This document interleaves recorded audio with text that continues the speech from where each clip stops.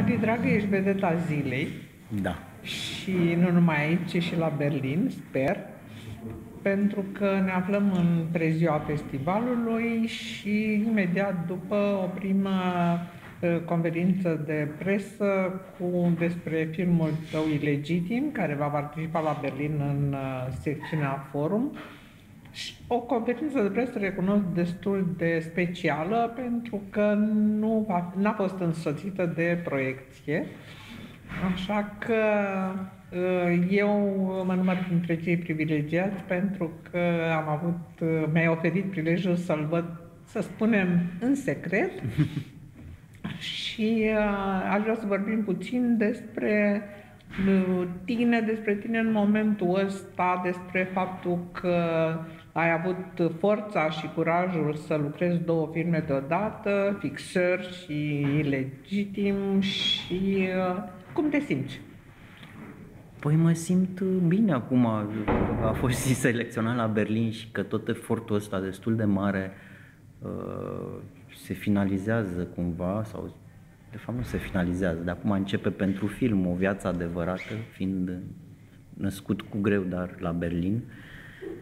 Ehm, pe de altă parte, a fost, și am spus în conferința de presă, un film care l-am dorit să-l fac altfel decât filmele mele, a fost un fel de cercetare pentru mine, experiment de lucru cu actorii. N-am simțit neapărat că lucrez două filme deodată, erau două Fiind feluri... foarte diferite. Fiind foarte diferite. Eu cred că nimeni nu are dreptul să hotărască asupra vieții al cuiva. Vorbim de viață aici, da? amândoi stăteam să ne întrebăm cum o să reușim să, să creștem și gemenii și... Nu simți nevoia să te și lege în timp ce cânti la asta? Eu am fost pus la încercare și până la urmă am decis să nu fac avort, dar... Romi, merge cine acasă? Ce dai acasă? Nimeni acasă. De unde știi? Ce faceți, mă? Suntem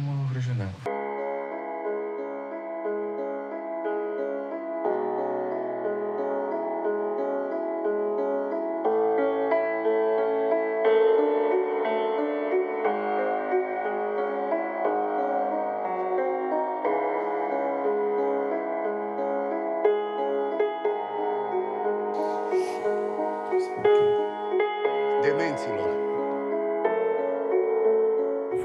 efort ușor de gestionat. Uh, oricum, lucrul la ilegitim a început prin 2013, e adevărat că deja de pe atunci și la fixor lucram uh, pe scenariu cel puțin. Uh, da, e un sentiment plăcut, că a fost o muncă bună și cumva nesperat rezultatul că nu asta era în principalul scop, să avem un film foarte căutat de un festival, ci să finalizăm cumva, mai ales că deși am depus uh, proiectul la CNC, nu a luat, am avut foarte puțin bani, dar a fost foarte multă pasiune, am avut un plan B, Ana Maria Antoci a știut cum să gestioneze, am avut doi, până la urmă și finanțatori cu bani în momentul filmării privați nu înseamnă că bani mulți, dar suficienți cât să nu simțim că facem Am înțeles că a fost un buget uh, foarte strâns, foarte da. modest, dar uh, folosit judicios ca să reușiți să ajungeți în final cu el.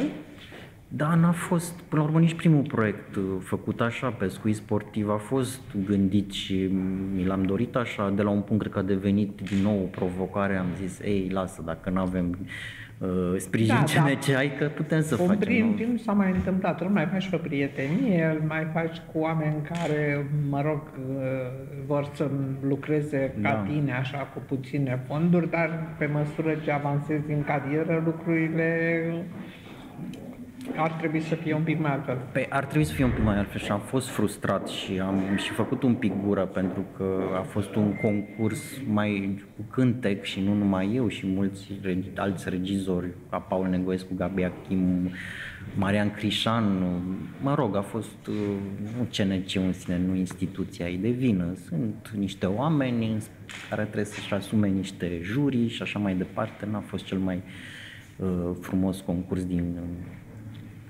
au fost și altele. În fine, nu contează El n-a acum. pornit cu dreptul N-a filmul, pornit cu dreptul. dar uite-te că acum pășește cu dreptul în lume, în momentul în care copilul s-a născut și acum în momentul în care l-a zvârlit în lume, el pășește cu dreptul și mie mi se pare că asta este important, mai ales când, o părerea mea, a ieșit extraordinar de, de bine.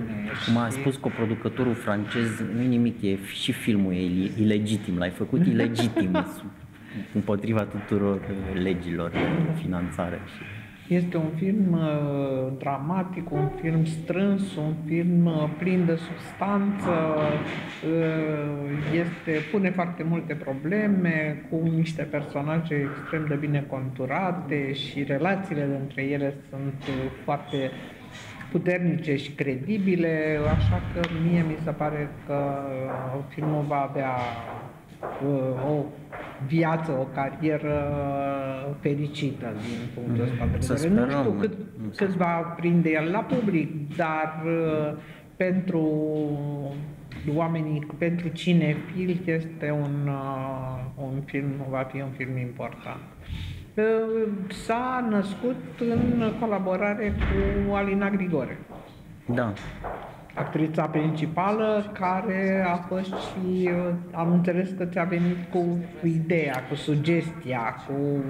Da, ea a fost, a fost un proces lung. Ea a venit, nici măcar nu era personajul ei, personajul principal la început. Erau această familie de patru frați și cumva Cosma, Da. vorbesc cu dumneavoastră în cunoștință de cauză, era Fratele personajul cel mare, inițial, nu? Cred da, că- da, da. fratele cel mare. Uh, Alina a venit într-adevăr cu mai mult cu dorința de a face ceva cu actorii școlii ei private. Mi-a prezentat câțiva că sunt foarte talentați, hai să... Și am acceptat pe ideea că bine, da, hai să facem altfel. Mă visam eu și mă plănuiam a face un film. Uh, și a venit cu un text din care a ră- au rămas personajele și personajele, de fapt, de ele m-am folosit, că ei au lucrat foarte mult pe acele personaje, știau istoricul, tot, toată Fiecare- psihologia și pe care am mai stat încă un an de zile și au rămas cumva în picioare aceste personaje ficționale. Uh, era- exista acest sâmbure de poveste de dragoste imposibilă pentru că din acel text exista un personaj Julie, care a rămas Julie și Romy, cu trimitere la, clar la Romeo și Julieta, dar pe parcurs s-au schimbat multe, iar la tema incestului a ajuns destul de târziu, când pur și simplu mi s-a părut că relația lor ar putea să fie și a, în relația lor, așa cum făceam un fel de repetiție mult spus. Lucram cu ei pe situații, mi se părea că e mai mult decât uh, ceva între doi frați și am forțat. Am Da, forțat interesându-mă, cum m-ar interesa într-orice film, ce ar fi dacă. Dar nu incestul a fost uh, niciodată. Nu, eu prima oară când am auzit despre acest film, am auzit Adi Sitaru face un film despre incest. Și zic, Adi Sitaru a nebunit. Și trebuie lui film despre incest. E adevărat că acum se poartă filmele cu, cu sex, cu probleme, cu homosexuali, cu alegere, cu transexual și așa mai departe.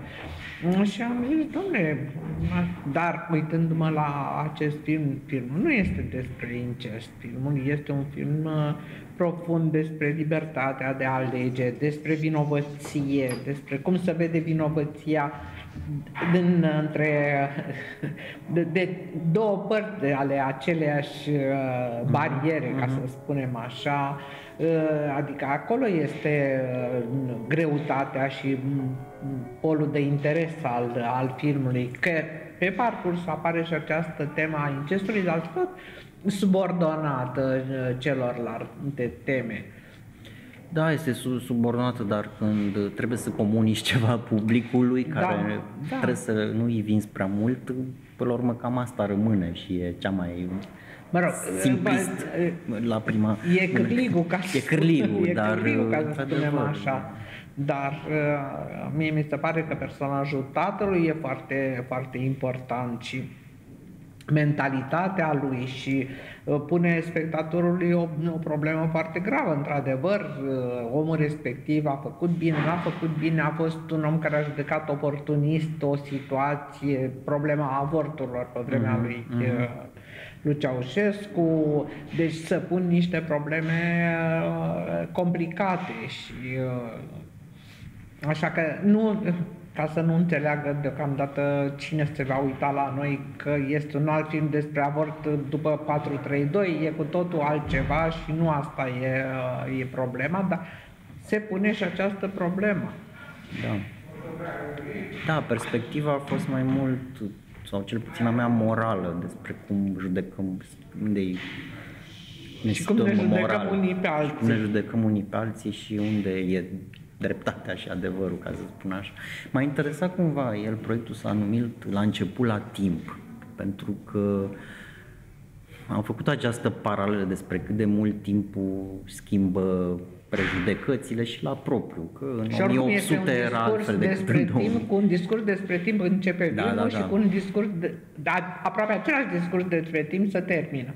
Așa că la timp se potrivea. Se potrivea, nu era atât de cum se zice, catchy, da. de cu cârlic titlu, se potrivește, cred că, foarte bine și legitim. Există, a rămas această temă a timpului și acum ne influențează și ce ne face și ce cu timpul ăsta. Dar, da, cred că cel mai mult tema asta a moralității și cumva, o spun în paralel, nu se știe prea mult despre că și un scurmetraj la care lucrez acum în postproducție, este această temă și se bazează pe niște studii de cercetători pe morală, despre ce alegeri facem morale când suntem într-o situație limită. E o temă care a ajuns să te preocupe, care te, îți dă de gândit?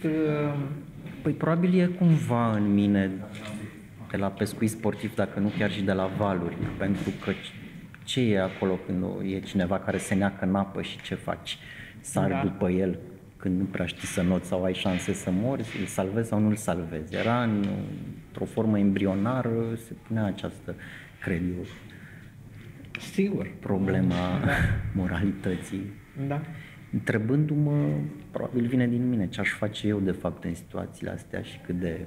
Că așa e ușor să fim eroi în teorie, dar Eh, spune-vă să zic că la Ilegitim scenariul s-a născut din ideea Alinei Grigore și eh, el s-a constituit ca un scenariu normal, adică cu replici, cu tot, a lăsat eh, loc de improvizație pe, pe platou, nu? Care a fost situația? Păi, nu, din potrivă și asta am spus Aline, nu aș vrea să existe un scenariu, pentru că pentru că mi se pare că oricât de bine scriem scenarii, ele pe de o parte impun niște limite actorilor, constrângeri, pe de altă parte, și asta mi se pare cel mai destructiv cumva, că oricât de filozof și genial suntem, în toate, fiind un singur autor sau ok, pot fi și trei scenariști, dar principiile și credințele lor sunt puse mai mult sau mai puțin în toate personajele. Nu vin, nu vine fiecare personaj cu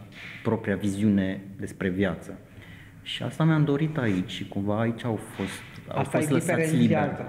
Îi diferențiază pentru că în film uh, asta pe de o parte. Pe de altă parte am spus, vreau ca și în viața reală, după ce voi sunteți personaje bine construite, să fiți pusi în fața situațiilor și să reacționați cum vă vine și ce vă vine să faceți. Normal, luând ceva din personajele fictive, dar uh, imposibil și de fapt în orice film iei ceva și joci și de-aia alegem la casting anumiți actori pentru că au ceva din personajele pe care le imaginăm noi în da, scenariu, da, da. cu ceva din propriile voastre credințe. Deci dacă o să discutați despre avort, că e bine sau nu, faceți-o cum credeți voi, nu cum cred eu sau ce aș spune eu.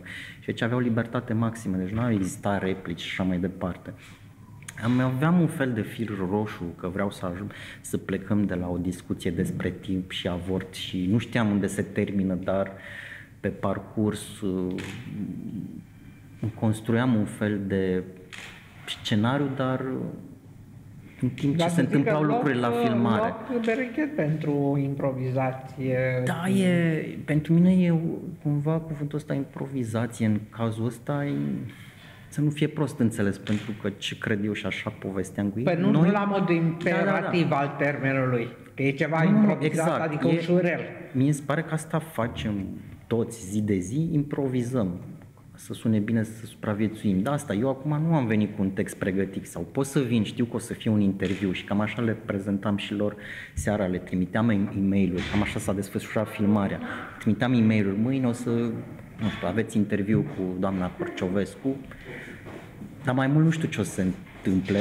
Poate vă ziceam dumneavoastră, întrebați și ei ce fac ei în privat, știind un pic din ce au, ce au filmat anterior. Vă sugeram niște întrebări, dar în niciun caz nu le sugeram răspunsuri și nu știam cum se termină interviul sau situația respectivă. În funcție de ce se întâmpla, următoarea seară le dădeam alte situații încercând să-i conduc uh, așa ca un mic Dumnezeu spre ceva, dar nu știam ce și nu le impuneam nicio limită și mm, doream foarte puțin să fiu intruziv. Bun, dar de, de care, după părerea mea, nu știu, mă te întreb, uh, un asemenea tip de a realiza, un asemenea sistem de a realiza un film, nu te duce la foarte mult material filmat? Păi ba da, am avut în două săptămâni uh, vreo 25 de ore. Adică spuneam că n-a existat decât prima dublă, ca în viață. Au fost și câteva situații în care am tras din motive tehnice, a doua dublă, dar erau așa de proaste și de diferite de autenticitatea reacțiilor la prima dublă, cum se zic, dublă Da. da. sună un pic inadecvat. În fine, uh, încât nu le-am prea folosit. Există ceva folosit, în fine. Uh, Deci aveam, de fapt, când am pus tot materialul ăsta într-o singură dublă, tot ce am filmat, aveam 10 ore Au. de film, nu de duble, de Da, da, da. posibil, putea fi De o un- posibilă poveste. Bineînțeles, cu multe burți, cum se zice, și multe chestii plictisitoare. Din acest material, Mircea Olteanu, e de specificat acest nume pentru că am avut un mare noroc să lucrez pe montaj cu Mircea, cel care a făcut, montat și lumea văzută de Ion B, dar și uh-huh. a lucrat și la Totoș și surorile mele, deci documentar, dar Da, și după dealuri și acum ultimul film. Deci avea acest, această experiență de lucru pe documentar, dar și pe ficțiune. I-a plăcut foarte mult ma- ce am dat, dar nu i-am, nici măcar nu i-am zis, băi Mircea, am zis, uite, ia materialul ăsta. Nu, eu spun, eu am un scenariu, am o poveste, uite-te și fă ce crezi tu din el, ca și când ți-aș da documentar. Întâmplător chiar filmam fixor și nu aveam timp. Uh, La final a venit cu trei ore, care nici alea nu erau rele, de la care am pornit să reducem, să reducem. Da, și să- asta n-a însemnat că mă, ai scos uh, scene și porțiuni de acțiune, ai lăsat, a trebuit să te înduri să renunți la ele. Bineînțeles. Un serial mic n-ar ieși? Am Stau eu și uh, întreb? Am avut această discuție cu Mircea pentru că ce era în plus, mai erau două ploturi, o sora Gilda, uh-huh. care pe un fond depresiv aș dorea un fel de sinucidere Zic un fel de sinucidere că își dorea tot așa, cam cum fac unii dintr-un sectă de prin India, adică să moară, să, prin suferință, să moară, să nu mai mănânce, să nu mai bea apă și chiar am văzut un documentar pe tema asta foarte spooky uh, și avea acest, uh, acest fir de poveste, mai exista o relație și între Cosma și Julie în film și mergeau pe toate trei destul de interesant, iar um, din păcate, s- cum să zic, incestul era și storiul gemenilor Da. da. era atât de puternic încât încet, încet le-am redus și cred cumva că am făcut bine filmul. Dar într-adevăr cu Mircea discutam la un moment dat că poate, uite, putem face un film cu, acela, cu, ace, cu acest material doar cu personaje, cu alte personaje principale, Gilda și despre Gilda și cum Da, vrea da, să da. moară. Păi chiar e păcat. Adică Păi, putem uh, face Materialul este așa de dens și îmi imaginez că și ăla pe care l-ai dat afară uh, e din aceeași categorie Da, și da, e da. păcat. Și de asta mă gândesc ori un, uh, un serial de șase episoade, cinci episoade, un așa, ori dacă mai faci, și asta ar fi o experiență interesantă, să faci un dublu la acest film, ca pe Da, mine ar da, da, ne-am deveni gândit un, uh, oarecum că nu Dar e un timp care trebuie. timp și bani. și bani. Da. Cumva asta am și regretat de fapt, că, n- că n-am avut bani. Eu îmi propusesem pentru că actorii, ca să funcționeze, de fapt le-am pro... Câți le-am actori ai i-am luat de la obligat. școala Alinei Grigore? Uh, Cred că au fost patru, adică cine, rolul jucat de Julie, Gilda, Bogdan, mai apăreau Emma, psihologa sau ce era, Nașa, și încă Alex mai secundar, deci vreo cinci. Și ei toți debutanți. Da, Da. da, da, da. Păi au făcut da. aceste cursuri sau nu știu exact cât durează școala ei. Da. Știu că mai pune piese de teatru prin spații mm-hmm. underground. Nu Aveau pentru că, foarte mică experiență. Pentru că văzând uh, filmul nu distonează față de actorii, alături de actorii profesioniști și cu vechime și... Băi, cred că pe filozofia asta că funcționezi la prima dublă ca în viața reală, dacă nu ai o reținere de a filma în fața camerei, un stres și îți dai drumul, trebuie Da. să funcționeze de la sine. Că într-adevăr, când începi să te gândești, a, care e replica, ce am făcut înainte, deci de la a doua Da, da, dublă da. încolo începi să devii artificial dacă, Da. și să se simtă asta dacă n-ai experiență.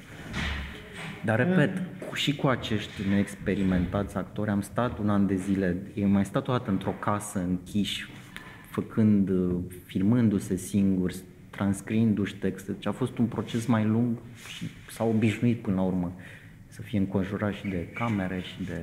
Da, da, da. Iar Titien, uh, am senzația că rămâne actorul tău fetiș. Păi, na, acum asta e. E foarte bun. Acum, el n-a fost în proiect de la început. Spre final, când am zis că facem filmul și ne trebuia un tată, am zis, hai Adrian, ajută-ne cu un tată. Și am spus cam care e conceptul și cum facem. Mi-a plăcut foarte mult.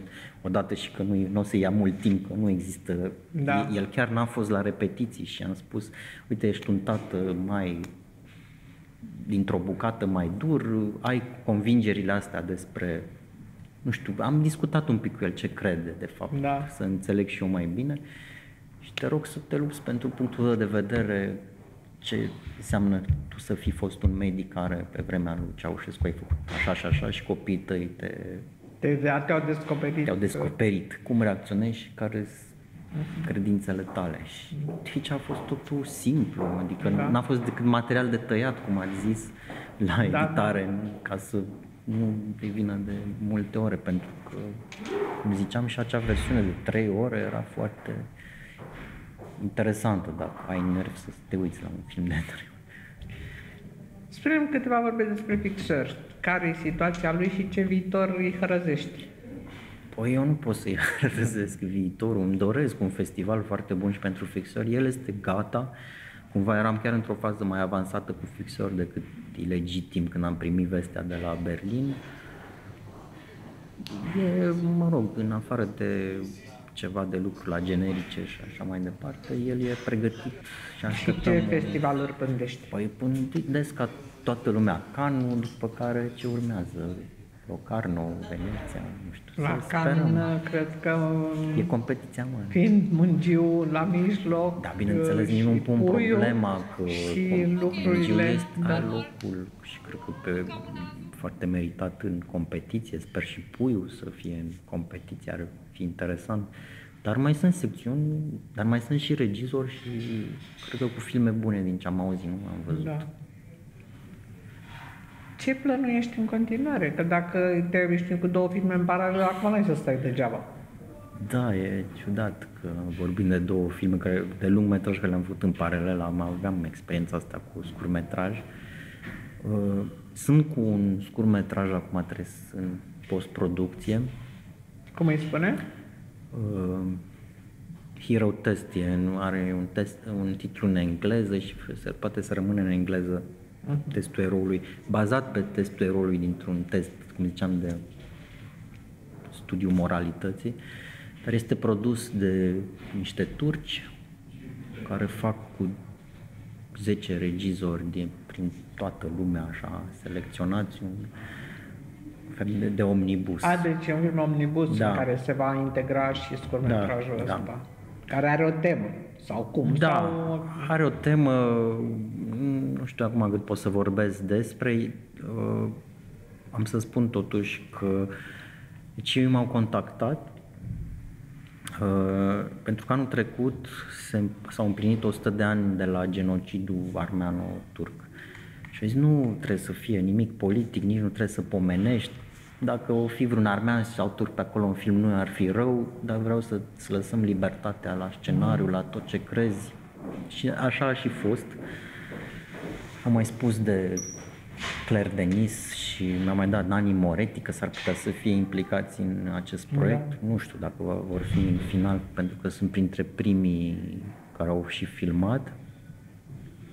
Un proiect foarte interesant. Aveam acest uh, scenariu bazat pe testul eroului.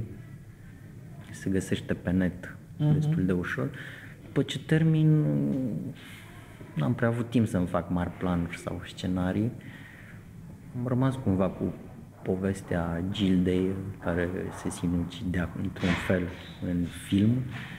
Să o dezvolt, poate nu e ideea nici de a relua tot materialul și de a reface. Eu așa ah, zic. Ce, ce vreau să spun e că cumva am fost frustrat de lipsa banilor la proiect pentru că eu mi-am propus și cum ziceam le-am uh, insistat ca actorii să, în momentul în care începem filmarea, de fapt câteva zile înainte, 24 din 24 să fie în pielea personajelor, să doarmă împreună, ce, să, ce fac ca și frați, ca și personaje și dacă sunt sunați de mamă, părinți, că trebuie să mai vorbească, să le spună pe numele de, de personaj. Și doream, dar nu ne-am permis o locație mai mare în această casă unde s-a filmat, ca măcar unul din operatori să fie 24 din 24 cu ei și uh-huh. știu și mi-au povestit că s-au întâmplat lucruri foarte interesante pentru film, dar care noi na, ne permiteam, n-avea loc fizic să mai doarmă și un operator acolo să stea cu ei. Da. Să, să acoperim cumva tot ce se întâmplă în, în, între ei. Și asta a lipsit cumva și probabil aș fi avut, chiar aș fi avut material de un serial despre această familie interesantă. Iată că spectrul Big Brother plutește da, printre noi și vrând nevrând, într-un fel, ne obsedează. Păi plutește. Dacă ne plimbăm prin Londra pe străzi, este și probabil și în alte țări suntem urmăriți acum. Dacă e un avantaj sau dezavantaj, nu nu-l discut. Dar da, pe mine m-a interesat și m-a și emisiunea Big Brother și mi se pare interesant ce se întâmplă psihologic între niște oameni puși ca la zoo și filmați împreună. Și aduși care din cotro. Exact. Da. Eu ce pot să-ți urez decât mult, mult succes la Berlin. Mulțumesc frumos. Un premiu Fibreș și cred că meriți, măcar. Nu se știe ce Așa, film mai cât de bun. Da. și uh, aștept să văd Pixar. Cu dragul, va urma coming soon, cum se zice. Mulțumesc mult. Și cu drag.